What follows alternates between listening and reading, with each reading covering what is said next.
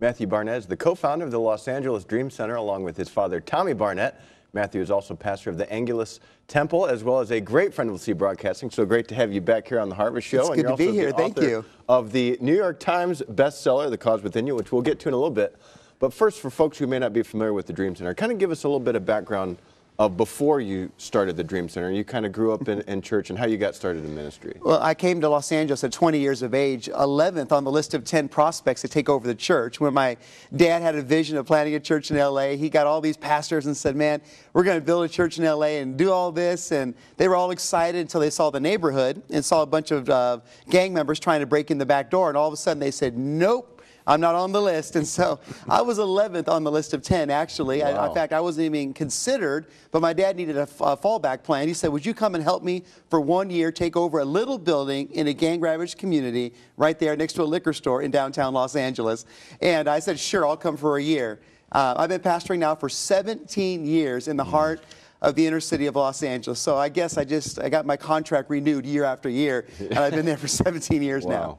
Wow. And uh, when, when you first got started, you kind of had a different picture of what you wanted your ministry to be like. Kind of explain that. That's, that's exactly right. When I came to LA, I thought because I was Tommy Barnett's son, that everybody would just come to church. You know, I've come to town, and we want to come and hear you preaching, but I realized I came into an area that was totally unchurched. There was no, there was no foundation when it come to church. And so here I was, all alone, at 20 years of age, thinking, well, I'm going to open up my church on Sunday morning, everyone's going to come to look out in a 700 seat building, and nobody was there. As a matter of fact, one Sunday, not one person showed up. and I come from a mega church of 14,000 members. So can you imagine the humbling process I had to go through? But you know what? It became the perfect place. I tell people sometimes when you lose it all, it could be the best thing that's ever happened to you because God just doesn't save people from rock bottom, He recreates people. And God started recreating something in my heart that was unlike anything, and we talk about in the book, it was unlike anything that I ever dreamed of. He took me on a journey of losing it all in order to discover the one thing He really wanted me to do. Wow. And Matthew, uh, did you ever have it in your heart to kind of work in that kind of environment uh, that you found yourself in in LA? Well, when I was 16, I had a dream at a youth camp that someday I'd be in the city of LA pastoring. I didn't know what that meant. I thought it meant Orange County. I thought it meant Disneyland. I thought it meant the Bible Belt of the West Coast, Orange County. I didn't know that it meant downtown Los Angeles. And when I was 20, I knew the opportunity was God, and I knew it was there. But I just didn't think it would mean being there. You know, I couldn't relate. I didn't. I didn't. I didn't know the culture. I didn't know the language, and here I was, 20 years of age, trying to make it work. And so one day, I went to Echo Park after nobody showed up in my church, and I was weeping on my pillow for three hours in my apartment in downtown LA. I said, God, I'm the biggest failure in all the world. I was crying, and all of a sudden, God spoke a word to me. He said, I want you to stop your crying. I want you to go to Echo Park. Now, for God to tell you to go to Echo Park in the middle of the night is a pretty bold word. I mean, there have been dead bodies found in the bottom of the lake and guns. I thought God was mad at me, you know, for being a big old baby. I'm just going to finish me off in a drive-by shooting and get somebody there who really could do the job. And that night, when I went to the park, I'll never forget what I saw. Young boys up against police cars being arrested, hmm. helicopters looking for criminals. And God spoke a word to me. He said, Tonight, I want you to die to your dream of being a success. I no longer want you to think about legacy. I would think about how far you need to go. Hmm. And I want you to spend the rest of your life building the dreams of these young kids in the neighborhood. And that night, hmm. I laid down my dream and I picked up God's cause. And I found that God's cause was greater than any dream and any plan and any 10 year goal I could put on my wall. I picked up something better than the dream of being a great pastor, and that was I picked up the cause of Christ. So everything was kind of uh, in turmoil. You're in this horrible neighborhood. What were sort of the, the first steps and building blocks towards where you are today in the Dream Center? Well, this is what happened. You know, I didn't have anything. And, and I tell people all the time in the book, you know, you start with whatever you have so that God can bless it. So back then, we had a little desk, and I moved outside the church. And every single day, I would answer the phones, would, and I would say, LA Dream Center. I was the only staff member. I was receptionist, I was a janitor. And so they, they would call, and I would say, LA Dream Center. They would say, Do you have a women's ministry? And you and I did. I actually faked it and act like we had a women's ministry and changed my voice to make it sound like we had a bigger church. We really did. Yeah, I was out there in the middle, and I had my desk, and all the moms walked their kids to school. And I learned to speak Spanish just by talking to all of them. I put candy on the middle of my desk, and, and that's all I had was one desk, a little bit of candy, and four grocery bags. And that's where the cause began. By serving with what we had in our hand, God began to bless. And I tell people all the time, you know, most people never find their cause, not because um, they have to look for it, they just never value what they have in their hand. They never realize that there's dynamite in their hand, and that's just whatever they have in their hand that God wants to bless and use. And fear stops us, not having enough stops us. And so we just sit around our whole life saying, Well, I just don't have enough. And we never test the waters out there to see if God can truly bless what's in our hand. Uh, George Barna helped out with uh, the cause within you, and you know we know he's a great statistician in the in the Christian world. But he says about 50% of, of adults in the U.S. don't feel like they've tapped into their purpose or don't even know what their their ultimate purpose in life is is all about. What are some of the keys to discovering that that purpose or that cause within? Well, I tell people all the time that you never have to look for your cause. People think it's going to fall from the heaven one day and hit them. Mm-hmm. I just said, you know what, spend your life serving with whatever God gives you, and you'll never have to look for your cause because your cause will find you. Hmm. The hurting will find you. The need will shape the vision of your life. And so I say, you know, don't look for it. Just spend your life serving, and it will find you. And that's what happened in my life. I just started serving with what God gave us. I didn't know how it was going to look like. And then now, you know, we have this big old hospital now that we have, the Queen of Angels Hospital. You've already seen pictures of 400,000 square feet, right on the Hollywood freeway. It was a miracle that God gave us, where 700 people are living there every single day, coming off drugs and alcohol.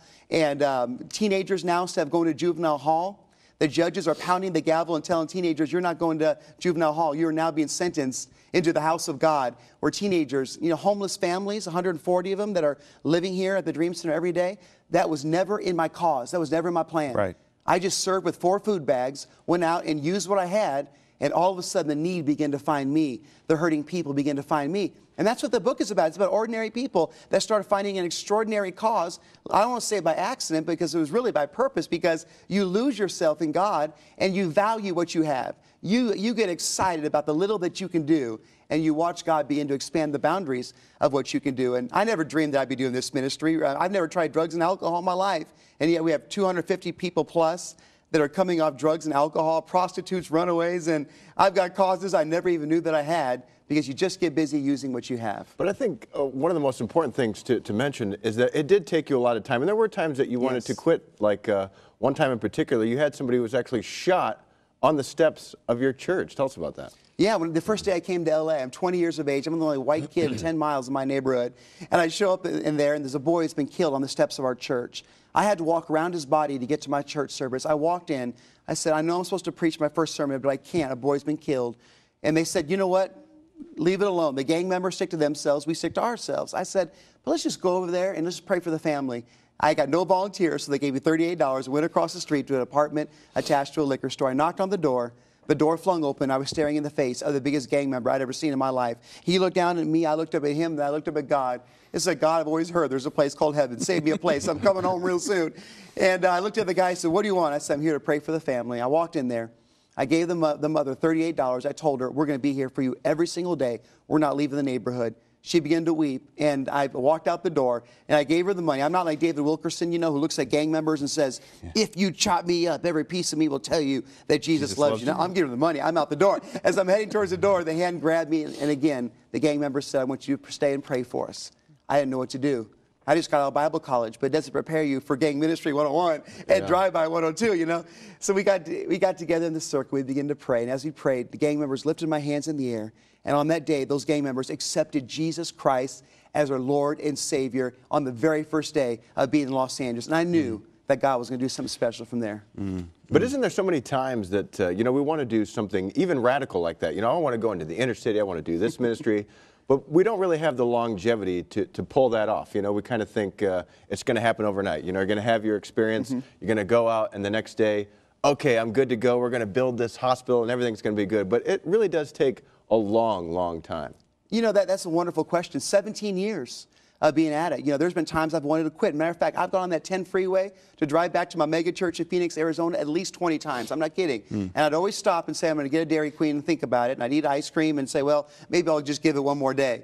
You know, sometimes when God gives you a dream, all you have is 24 hours left. You can't even hmm. see five years down the road. You can't even imagine 10 years down the road. And sometimes all you have to give him is one more day. That's all you've mm-hmm. got. But sometimes that's all you need to keep going. Morning by morning, His mercy is new every single day. And I realize it. And, and the more that you crash through quitting points in your cause and in your vision, you know, the, easy, the, the, the, the less the option of quitting becomes a reality. I love what my dad always says. He says, only successful people can have the desire to want to quit. He says, if you ever have the desire to want to quit, it means you're a success because you have something to quit. Hmm. Only successful people can have the desire to want to quit. But the moment you start crashing through every quitting point in your life, that desire to quit gets less and less. And now, to be honest with you, I don't think about quitting. But in the first five years, I thought about quitting every single day. It became an option. But when you give them a series of 24 hours, hmm. you begin to see what God can do in your life.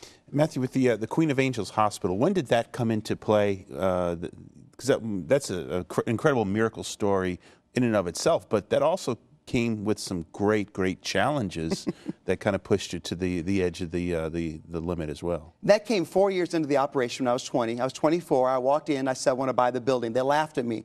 A 24 year old kid wanted to buy a $16 million building that Paramount Studios was going to use for a movie studio. Well, through a series of miracles and meeting with the church and the owners and, and the Catholic Church who own the building, they sold to us for $3.9 million. It's one of the landmark buildings. It's been appraised for 65 million today, years later, sitting right on the Hollywood freeway. And uh, God gave us that miracle because we were filling the houses around our old church with drug addicts and convicts that are getting saved. I tell everybody in our church, we got ex drug addicts, we got ex murderers, we got ex prostitutes, we got we got ex pimps in our church, and that's just a pastoral Yeah, staff right there. That's like everyone else That's we have. senior you know? leadership. And so, and, that, and that's what we have there. And so now, but we outgrew that place, and the hospital became a reality. Uh-huh. And now today, we are functioning out of that place 24 hours. People are kicking off drugs at 2 o'clock in the morning, get their life back together again. It's the most crazy place you've ever met. Homeless people are showing up every day looking for a place to live, and we're giving them a chance to restart their life and families and, and runaways. And again, it's just one of those things to where you say, God, I'm going to just use whatever you have to serve others. I'm going to make a difference. And all of a sudden, this wonderful and glorious cause begins to shape everything that you decide to do with your life. And how important of a role does the hospital play, you feel, in the seat of your ministry? It's everything. I mean, we have thousands of people that come to church, but we're more, we're more known for what goes on 24 hours a day. That's who we are. You know, oftentimes people view church as Sunday. Sun, everything is church is Sunday. Church is Sunday. And I believe that, but I believe that church is a pep rally on Sunday for what the church ought to be doing Monday through Saturday. I believe that's the rallying point for to mobilize the greatest army in the world, hmm. the church, to make a difference. We got a phone call from the social workers that told us that because you guys took in seven families, uh, seven children that, that, the, that the city sent to us that were homeless, seven children. We got a letter in the mail said that we saved the government $483,000 by just taking in Wow. seven homeless children. That's the kind of rallying cry that the church is rising up. And this recession in America has forced the church to look in our neighborhoods, in our streets, and understand that we have an obligation to be more than just mega centers on Sunday. Yeah. Eh, the church ought to be more than just an arms race of who can have a better facility to transfer more Christians. The church ought to be the source of change in our neighborhoods Monday through Saturday, mm. making the biggest impact that the world has ever seen. This is the greatest hour, the recession in America, as far as the church making an impact. This is our time to rise up and to make a difference and to be those centers of change and of refuge right there in our local communities. Well, we've got to take a quick break. We've already gotten a couple questions in. If you have one for Matthew, live at lesea.com. We'll be right back, so don't go anywhere.